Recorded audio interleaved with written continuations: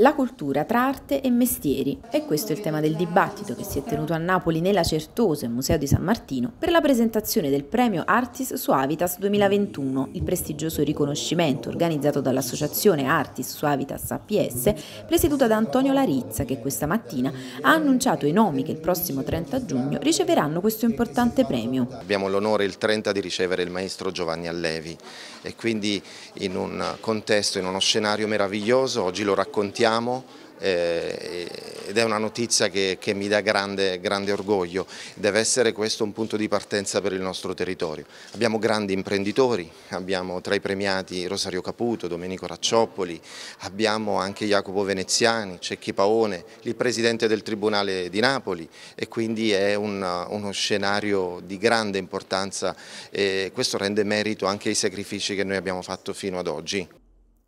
Al dibattito hanno partecipato gli imprenditori Maurizio Marinella, Domenico Raccioppoli, CEO di Nuova R-Plast e Rosario Caputo, presidente di IBG.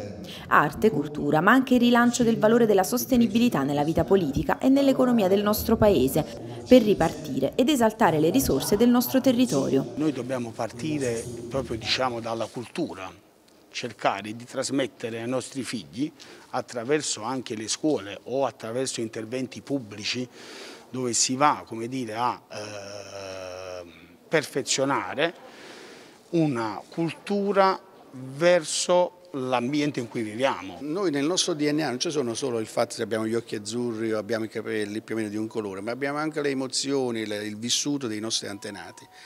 E spesso quando cammino per, la, per la, quello che noi chiamiamo la, la vecchia, l'antica Napoli, io ho la sensazione di esserci già stata. Ecco, credo che in quel momento funziona quel concetto di memoria storica che ognuno di noi porta e credo che ce l'abbiamo dentro, dobbiamo provare a, a riascoltarlo, cioè dobbiamo dargli un po' più di credito.